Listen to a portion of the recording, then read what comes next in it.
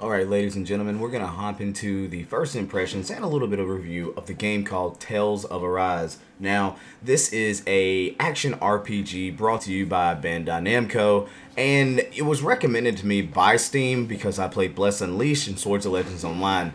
So there's some really cool things I really like, and maybe we should just hop in and let me show you some of the gameplay. All right, so right from the start, you're kind of in the world. It teaches you quickly how to navigate and use a few of the, the keys that this game is played on. This game works on controller. You can play it just on your keyboard, but I chose to use my keyboard and my mouse. So in the demo, it puts you quickly into what you would call your combat tutorial, showing you some of the important things on the UI to let you know like what should you be looking for and what these things kind of mean. I appreciate that because I'd never played a game that kind of felt this way. Uh, I like this game, I'm not going to lie. Very interesting how it rolls, but let me just show you some of the combat to give you an idea of how it feels. So first off, I'd like to call out that it's kind of like an open world combat feel. So you normally jump into these enemies like you're playing a Pokemon game and it pulls you into an instance where your battle begins. And then you kind of just start clicking away or tapping your buttons away. You have abilities in midair, you have abilities while you're on the ground. So you can kind of change those abilities how you see fit. Um, but what I have here is a party of, of allies as well. I don't get to control the allies per se, but they will fight for me. And on the left-hand side of the screen, as you can see, I have Boost Strike. So when an enemy's health is fairly low and we can one-shot them, I'm able to activate this team-style boost attack that brings in two players or characters together and does a whopping amount of damage. Now, back to it, I'm able to navigate the battlefield left and right, go and uh, use my abilities how I want to to attack enemies. The game is very fluid and combat is actually very fun. The only thing that I didn't really like about it was that while you're in combat, all the characters are making these weird noises and they're talking all of the time. Now, I didn't show this at the very beginning of the game, but you actually get to choose between five different characters. Since I've always loved the monk and hand-to-hand combat style fighters, I chose Law, um, and it tells you what his abilities are. So each character has like a special perk or ability that allows him to play a little bit different. Now, as you can see, the world exploration in the game was really cool. It looks clean to me. Now, in the demo when I first booted it up, it mentioned that this game was in like under review, like it wasn't completed. So it may look completely different if you purchase the full $60 version of the game. But either way, it still looked good to me. You were able to look around and find these these uh, I don't know materials on the ground, and it gave you a quick idea of what those materials could be used for and where to actually use those materials. And here we are. Another combat scene has came in and immediately you get to run around and fight. Cast your abilities for your other players using the 1, 2, 3, 4 or the D-pad. At this point I'm trying the controller, so it was it was it was it was natural, like it still felt okay. But I didn't prefer it as much as I preferred using the keyboard and mouse. But I love the special effects and style of combat in this game. It looks amazing in my opinion. There's something going on all the time. The bright colors, the abilities casting by your team automatically, and just the, the cool look of things. I just really enjoyed it. It kind of kept me excited about it. Now, the UI and the settings menu, one thing I wasn't really stoked about was you didn't really have a lot of stuff you could equip. It was armor, gauntlets, and an accessory. That's it. I don't know. I felt like there could have been more.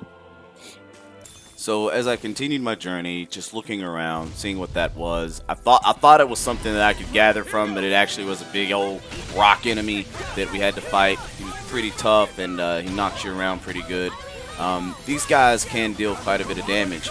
One thing that I didn't know right up front was that during combat, you can actually go into your menu and pause combat, allowing you to use any special healing, any uh, like ability boosters and things like that right there in the middle of combat. So if your characters are about to die, you can actually save them just by using the action menu where the game will pause and you have time to choose who to heal, what to heal with, and things of that nature.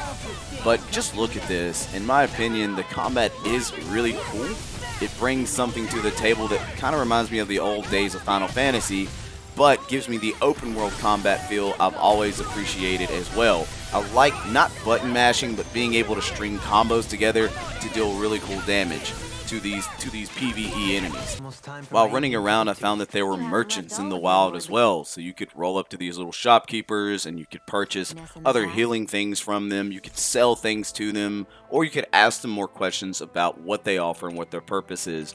But as you can see, there's all kinds of things that you can buy. So the tomatoes and potatoes are something you can cook near campfires so that your team can get a, an, a total boost and again, another cool aspect is those those characters sometimes are their favorite dish gives them a bigger boost, or a dish that that character cooks lasts longer or has a better effect for a shorter duration. It, it was really really cool to see all these little things, right? Um, and right now, what I'm doing is using some of those things I found around on the ground, those materials, to craft accessories, and then I can turn around and use those accessories on my characters in this demo, I could find them by myself, but at the time I didn't really understand how to equip them. So it does it a little bit different, but it still makes perfect sense. So you have to actually go through the equipment, then choose the accessory slot, and then choose what accessory you would like for each character.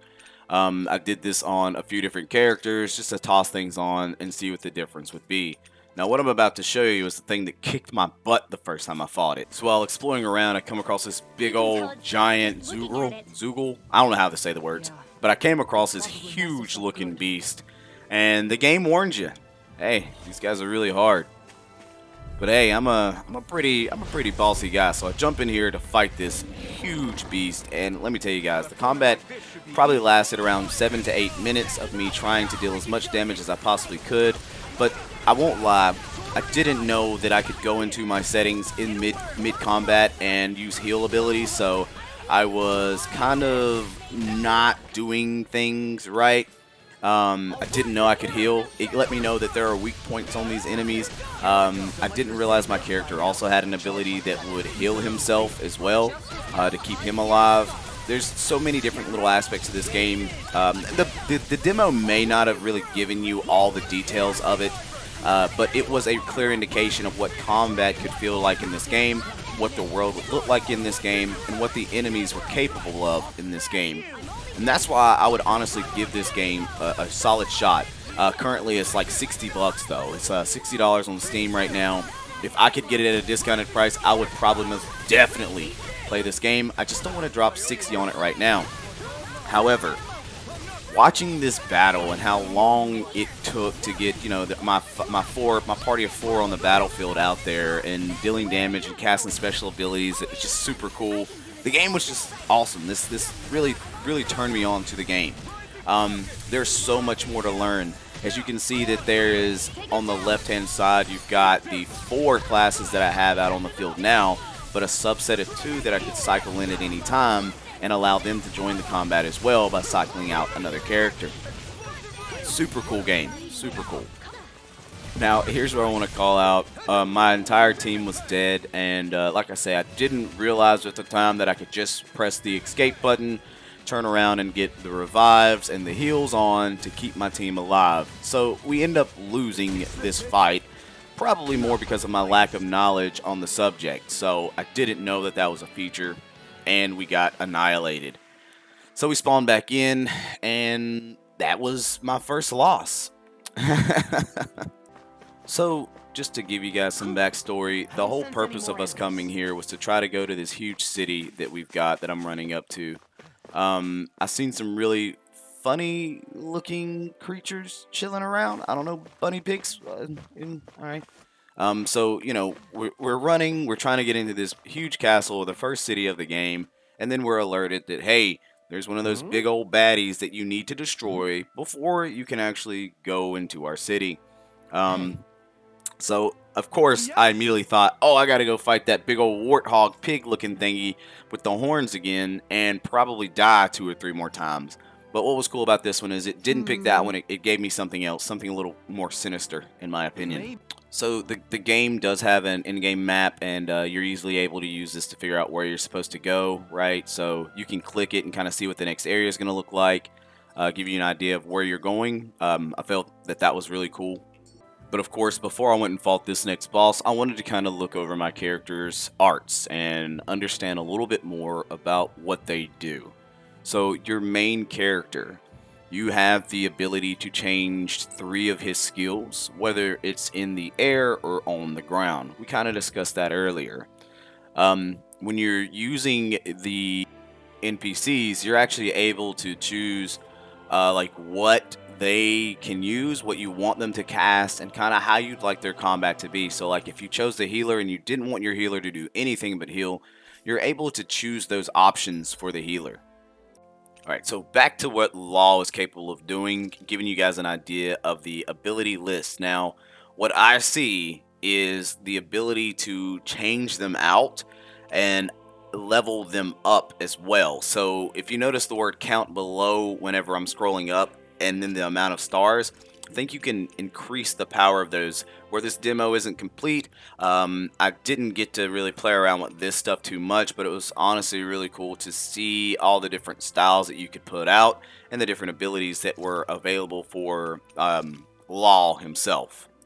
So my team was still wiped out, so I thought I was very confident that if I came to a little campfire and rest, I would actually be able to heal everybody up. Um, but something cool happened in the process. So you had the ability to just have time to reminisce and talk about past life and tell stories around the campfire.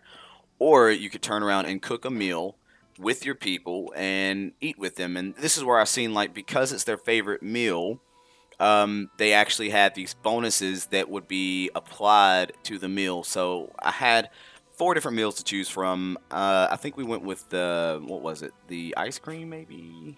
Uh, I can't remember.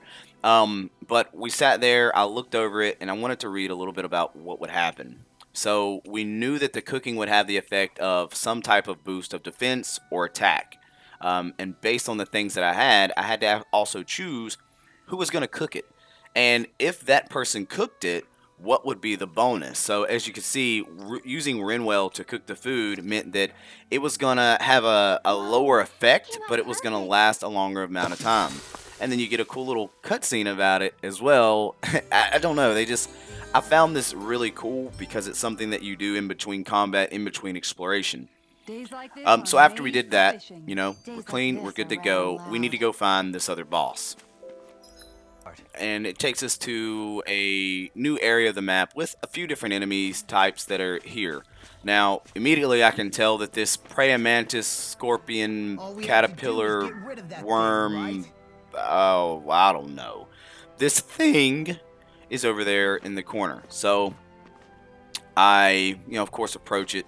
And like I say, this is kind of what made the game super cool was that I could see this creepy looking boss daddy over here standing in the corner but what made it so awesome is just the way the combat, I knew what combat was coming, but of course it was a new enemy. So it's time to get a different idea of its combat style and how it fights, which is pretty crazy. So that was me testing to make sure that I could actually open the menu while in game, and I had to do it quite a few times in order to completely defeat this enemy. Now, skipping forward a little bit in the in the battle, as you can see, like the combat effects, the colorful styles, the way the battlefield is built, you have this basic arena style fight. Um, just it became really cool, and at no point was it redundant. So even though I may have been trying the same abilities out and had the same like team, it all looked different from different angles. Being able to look at the different style and seeing things like where the ground catches fire and because it's on fire, like it, it let you know that that guy just cast a powerful fire ability. Now, another cool thing is your mage actually also has the ability to res you if you were downed in combat as well. So that's again how you kind of kitted your character or your team to make sure that they support you in your playstyle properly. I give this game a lot of credit. I really do want to go back and play this game even more because of just the way it looks and the way the combat style is and it's something new to learn. So, you know, you're going to we would have to learn this combat style and how to be effective and what gear is going to work best. And because there's elemental gear as well, and as you can see, some enemies have a different type of element based on what they are. Your characters deal holy damage, fire damage, earth damage, wind damage. It's, it's just all these different elements that you can take advantage of and learning how to break your enemy so that you get free damage for a hot minute or hit your enemy's weak spots or deal critical damage to the enemy. I feel like this game has a lot to offer in the combat style and just the overall fun of things. So, I mean, I most definitely plan on purchasing this game whenever I get the opportunity to. Hopefully when it goes on sale. I will not be purchasing it anytime sooner probably unless something immaculately crazy happens. But it was just really awesome to watch the combat, see how the game played out, see how the team meshes together and can support each other. Oh, that was a dodge, by the way. That was a perfect dodge. When you do a perfect dodge, you take no damage from the enemy's attack, and you glow white for a moment. It's just super cool mechanics in the game. I always say that we haven't seen anything new in a lot of the games that we play. It's not always the newness that makes it better. It's just how it does it and how it makes it feel when it happens. And this game did feel really good once I started to get an idea of dodging, attacking, combos, and using my team skills the right way. So overall, my very first impressions about this game is it is delightful. It is super cool to watch, to play, to learn, and I'm very curious as to what all the other classes have to offer. I seriously seriously can't wait to see what the full game is about. It's been a long time since I've been able to take advantage of a nice single player combat based game that actually had me excited and wanted to play. Now, this could be because it's a demo, but the character conversation portion of the cutscenes didn't really give me that cool factor where they were talking. They would say short things, and I kind of feel like because I chose the English version versus the Japanese version, that has a lot to do with that. However, never mind. The combat, the look, and the feel of the game are superb, and I highly recommend giving this demo a shot and seeing if you would like to purchase the full game too. But that's all we have for the review today. The game is a lot of fun, and I love it. But I'll see you guys next time.